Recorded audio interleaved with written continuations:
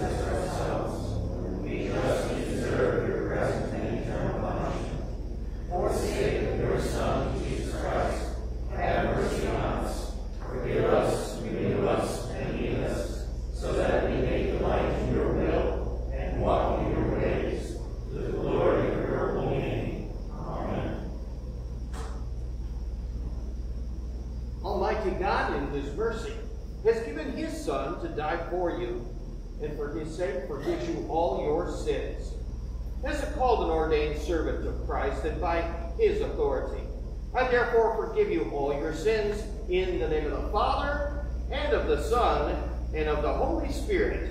Amen.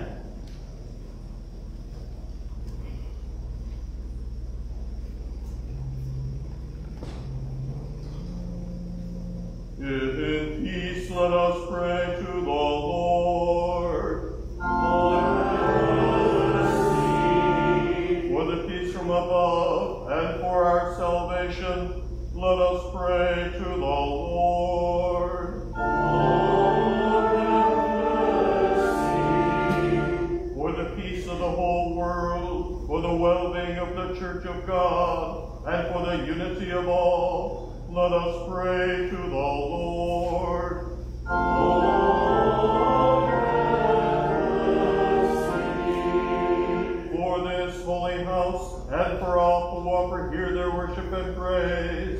Let us pray to the Lord.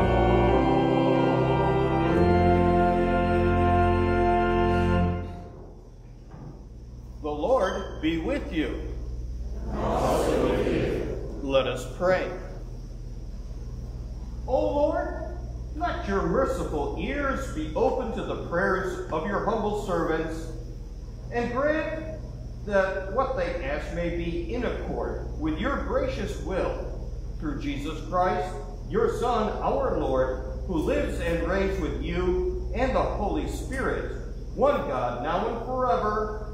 Amen. Please be seated.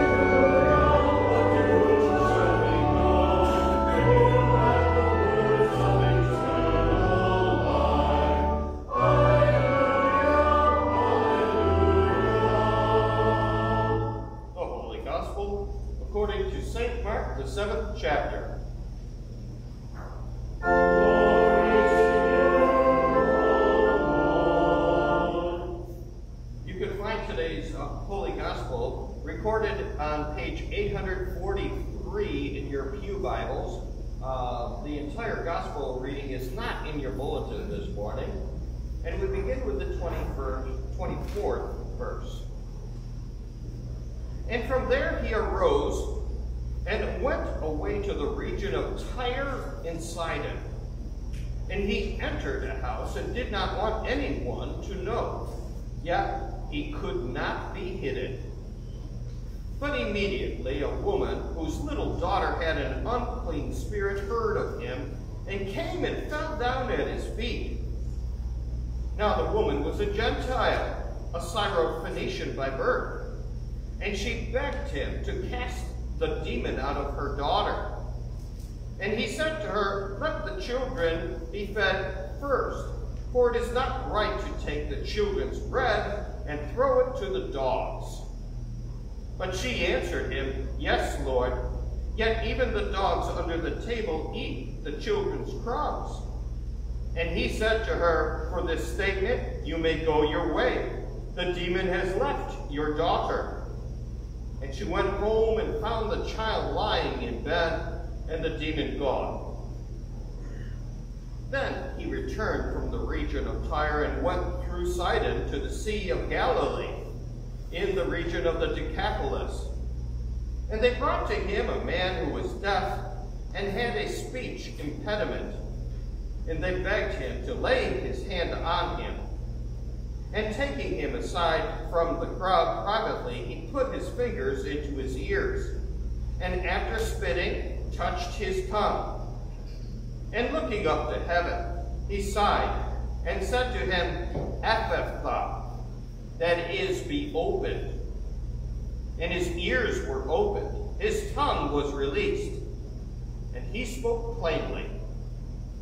And Jesus charged them to tell no one. But the more he charged them, the more zealously they proclaimed it.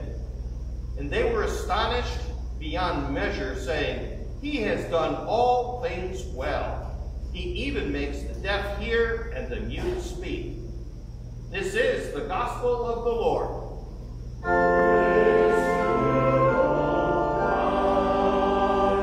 Please be seated at this time. I'd like to invite the congregation to join in signing the uh, fellowship registration. You'll find a white slip of paper in your bulletin.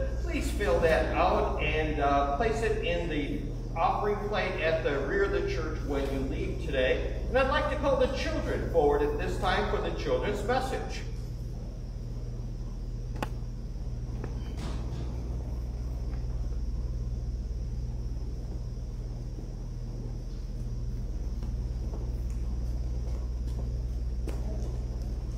Good morning. I'm so glad you came to church today. It's really great that you came. You know, I want to tell you something about Jesus. I'm not sure that you know it, but it, that Jesus was Jewish.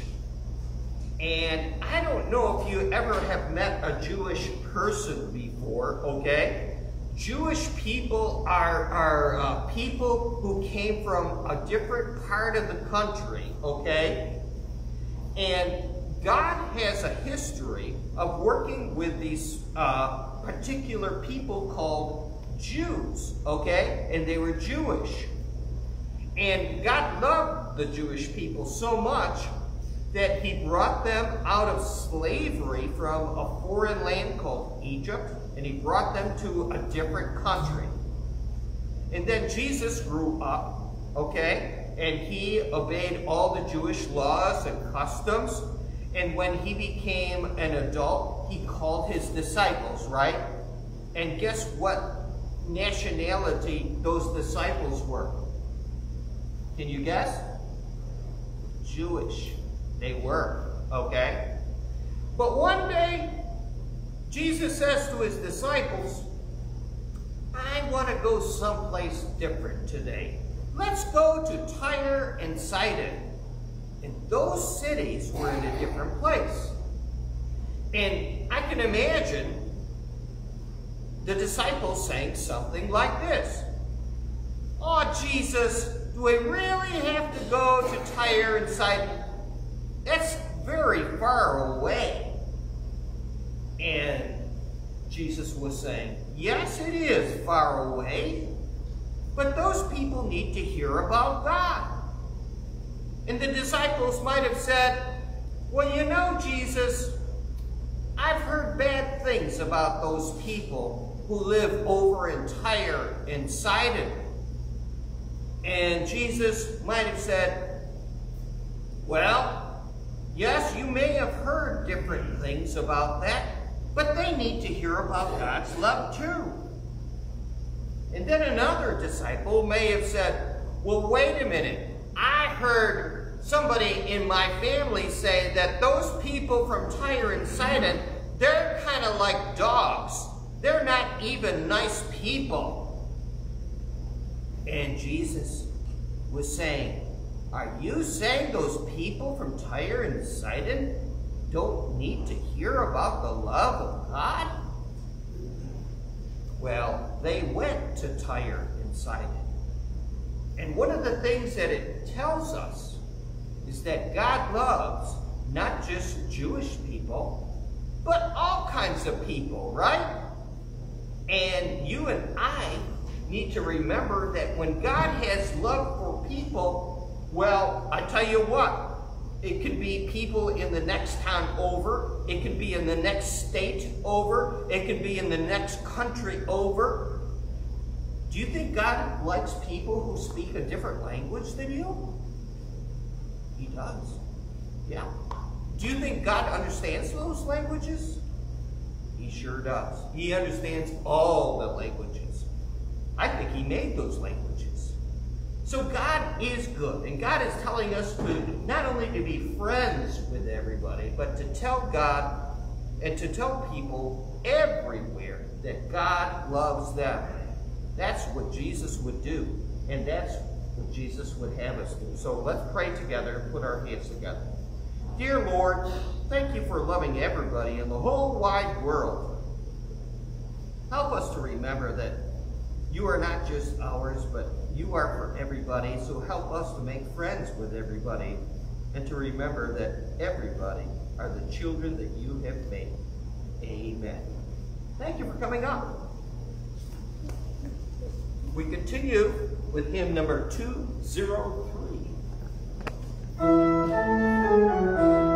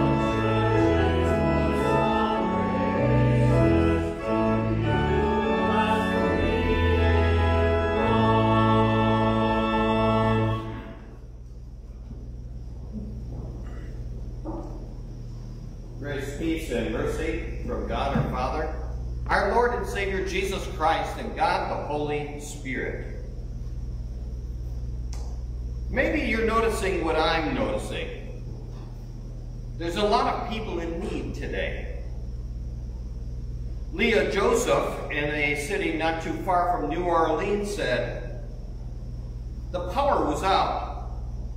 The wind was uprooting trees around our house and peeling off the shingles. Driving rain started pouring into the house, even seeping through the electrical sockets. I took my two children out to the car where they tried to sleep.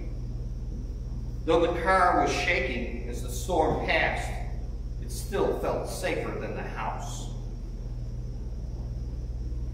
Similar experiences happened close to us in Mullica Hill, New Jersey.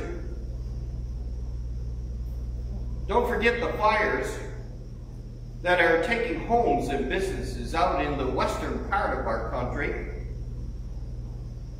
Or those people who are going through displacement and fear, those fleeing from Afghanistan, and those who are remaining there. So many people are standing in need at this very moment in time. We can say to ourselves, boy, I'm sure I'm glad I'm here instead of over there. But I don't figure that's what God is saying.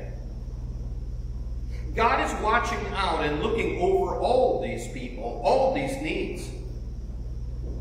And it occurs to me that God does more than observe our human condition. He reaches out to the people he creates people matter. In our scripture from the Gospel of Mark today, we see Jesus reaching out to a woman from Tyre. A woman who is Greek in background, a Syro-Phoenician by birth. And this description of her is very important to us. After Jesus has this encounter with this woman. The text says he left Tyre and went through Sidon, through the region of the ten cities, a region on the southwest of Lake Galilee where Jesus healed a deaf and mute man. Well, you know that's a considerable distance from one location to the other. It's something like 86 miles. Why are these distinctions so important? None of these areas are Jewish areas. Jesus has deliberately entered into pagan territory. They are not on his way home or in his way anywhere. Jesus made a decision consciously to go to people who were not Jewish in background, to heal and to teach people who were not part of the Jewish community. Not only that, these people do not subscribe to the God that he represents. Greeks were polytheistic. They worshiped many gods. And so did those of the people of Syrophoenicia and other pagan territories. Listen at verse 4 what happened up in that northern region. From there, Jesus arose and went to the region of Tyre and Sidon, and he entered a house. And he did not want anyone to know, yet he could not be hidden. But immediately a woman whose little daughter was possessed by an unclean spirit heard of him and came and fell down at his feet. Now the woman was a Gentile, a Syrophoenician by birth and she begged him to cast the demon out of her daughter.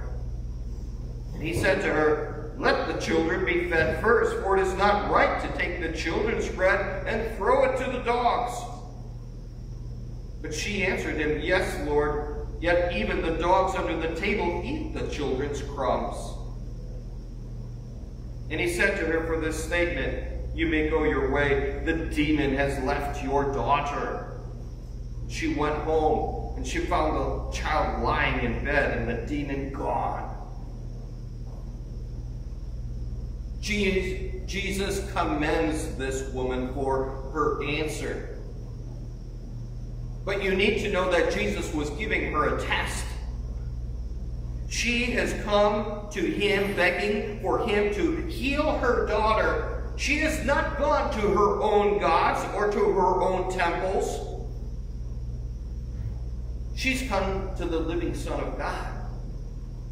This is the kind of faith and curiosity that gives her the courage to reach out to Jesus.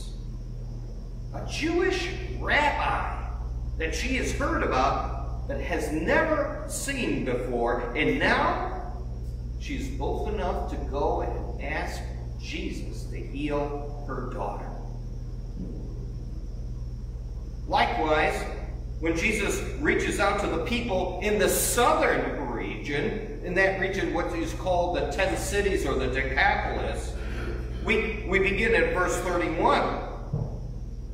Then he returned from the region of Tyre and Sidon to the Sea of Galilee in the region of the Decapolis, and they brought to him a man who was deaf and had a speech impediment, and they begged him to lay his hand on him.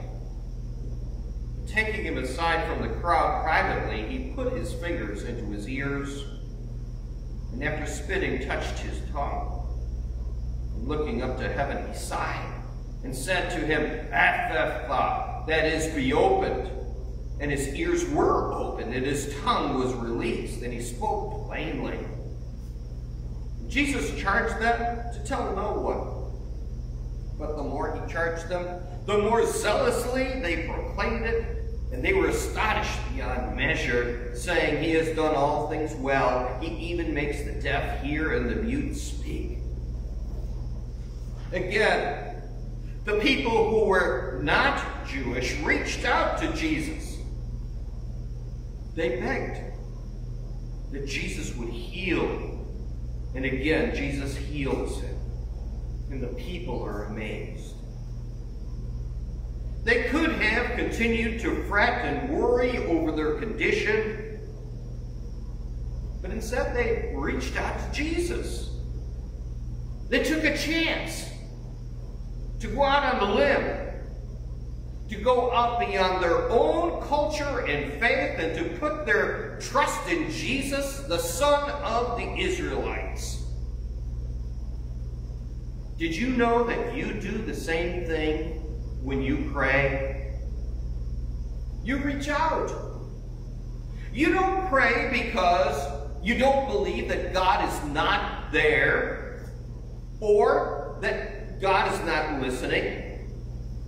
You believe and you pray because you are reaching out. And you know God is listening to you. Maybe it's your last resort.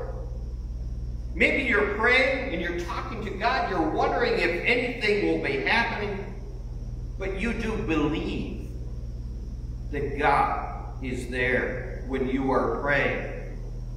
And as you pray, you're praying that God will reach out to you even as you are reaching to Him. A recent study shows that one in seven Americans suffers with depression. About 17.3 million people. According to a Gallup poll that tested more than 550,000 people, came to the conclusion that said people of faith are less likely to record having been diagnosed with depression over the course of their lifetime than those who are non-religious. reaching out to God is helpful. It's helpful for your emotional and mental health. That's what St. Paul said in the fourth chapter of Philippians. He said it this way. He said, Do not be anxious about anything, but in everything, by prayer and supplication, with thanksgiving, let your requests be made known to God. reaching out to God makes sense. It makes sense because as you reach out to God, you know that God has first reached out to you. From day one, it was God's intent to establish relationship with us, his people. You could call it God's DNA. It is very much a central component of who God is in order to establish relationship with us. It's part of not only God's behavior, it's part of his attitude toward us. In love, God created us for love. Sin gets in the way. And sin manifests itself as we isolate ourselves from God and one another. Faith and trust in God gets clouded because of sin. I want you to hear this closely. Faith is easy, but faith is difficult. Faith is easy, but faith is difficult. It's easy because all you really need to do is trust in God.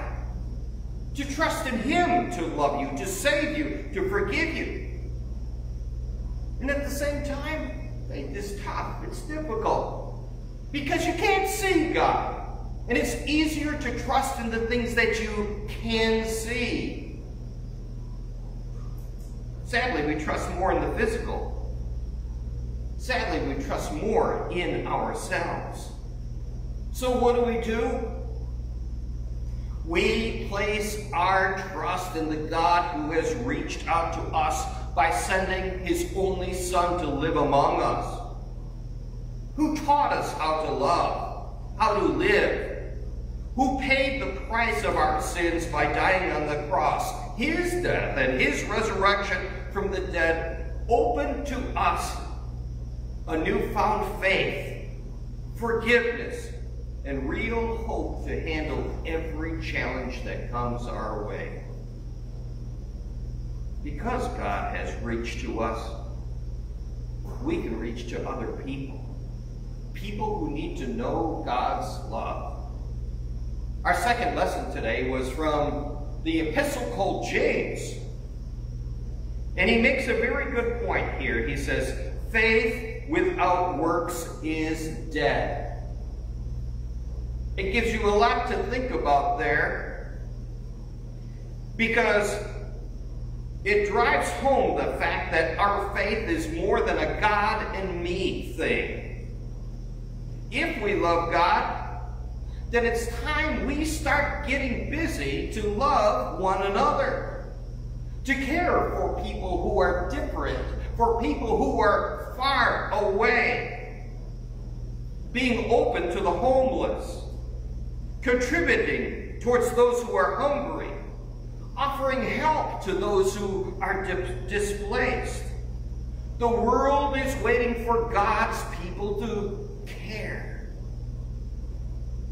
And when we make offerings to the ministry here at Hope, we are not just keeping the light bills on.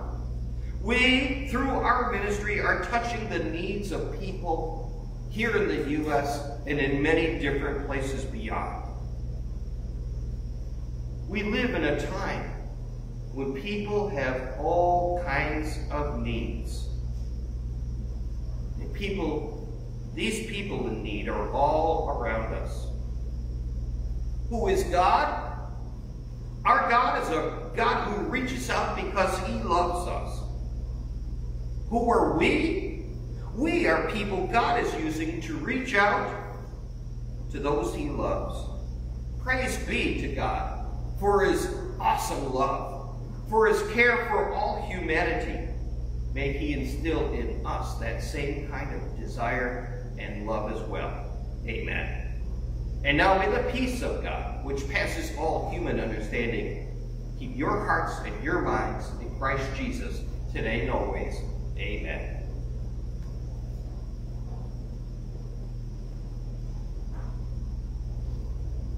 Please rise as we join in the confession of the Apostles' Creed.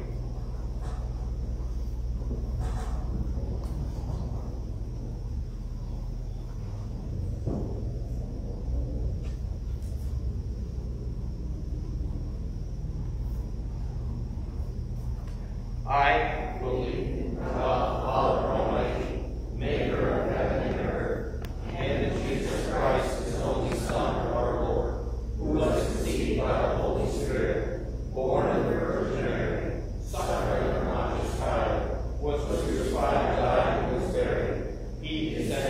The third day he rose again from the dead.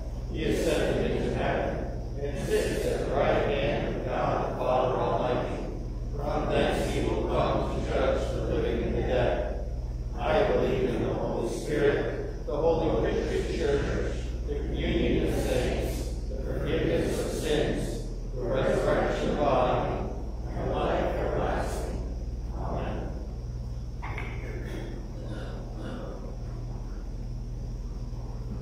Let us pray. Heavenly Father, you reached out to us given us the glory of your Son. You gave us life in baptism and have caused our hearts to flourish in faith. By your grace, enable us, your people, to be signs of you and your kingdom, that his that this generation may know you and find delight in your presence. Lord, in your mercy. Heavenly Father, you made us all heirs of your kingdom through the holy baptism, holding the faith in our Lord Jesus Christ, the Lord of glory. Keep us from showing partiality and making distinctions among ourselves, and make us rich in good works, Lord, in your mercy. Heavenly Father, create and sustain in us a lively faith in Christ Jesus, and lead us by your Spirit to be active in all good works, reaching out to the hungry, the homeless, those who lack faith, and all who stand in any need. Lord, in your mercy. Heavenly Father, help parents to raise up their children to know you as their help and hope, that they may not put their trust in princes in whom there is no salvation. Lord, in your mercy. Heavenly Father, we place our hope in you and ask your blessing on President Biden and all rulers, that their plans would be ordered for the welfare of your people, that you would execute your justice for the oppressed and bring hope for those in need. Bless and protect those who serve us in the military and all those in our communities. Lord, on this Labor Day weekend, we give you thanks for the means by which you provide for our sustenance. We thank you for all productive work, for work of all kinds. May the work of our hands bring you glory, Lord, in your mercy. Heavenly Father, you are the healer of those who are sick, and we bring before you those with special needs at this time. We lift up before you Kimberly and Kristen and Sandy, Tom, Haley, Chris, Judy, Bill, Pat, and Skip. We pray for Doug and Diane and Robert, and Ed, Mason, John, Susan, Steve, and Amy. Lord, in your mercy. Heavenly Father, grant that all who come to the Lord's Supper this day would do so in repentance and faith, for the forgiveness of sins and the unity of true confession. Lord, in your mercy. All of these things and whatever else you see that we need, we grant, we ask you, Father, for the sake of him who died and rose again, and now lives with you and the Holy Spirit, one God, now and forever. Amen.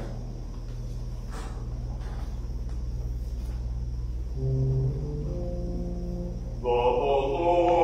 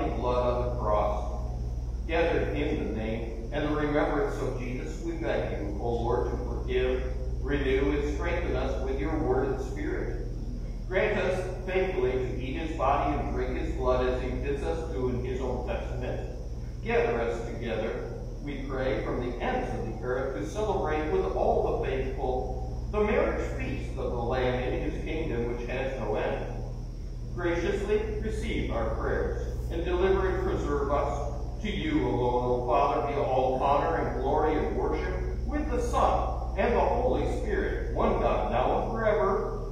Amen. Our Lord Jesus Christ, on the night when he was betrayed, took bread. And when he had given thanks, he broke it and gave it to his disciples, saying, Take and eat. This is my body, which is given for you. Do this for the remembrance of me. Again, after supper, he took, and when he had given thanks, he gave, he took the cup, and he gave it to them, saying, Drink of it, all of you. This cup is the New Testament in my blood, which is shed for you for the forgiveness of sins. This do as often as you drink it in remembrance of me. As often as we eat this bread and drink this cup, we proclaim the Lord's death until he comes. Amen. Come, Lord Jesus. O Lord Jesus Christ, only Son of the Father, in giving us your body and blood to eat and drink, you lead us to remember and confess your holy cross and passion, your blessed death, your rest in the tomb, your resurrection from the dead, your ascension into heaven, and your coming for the final judgment. So remember us in your kingdom and teach us to pray. Our Father, who art in heaven, hallowed be thy name. Thy kingdom come, thy will be done, on earth as it is in heaven. Give us this day our daily bread, and forgive us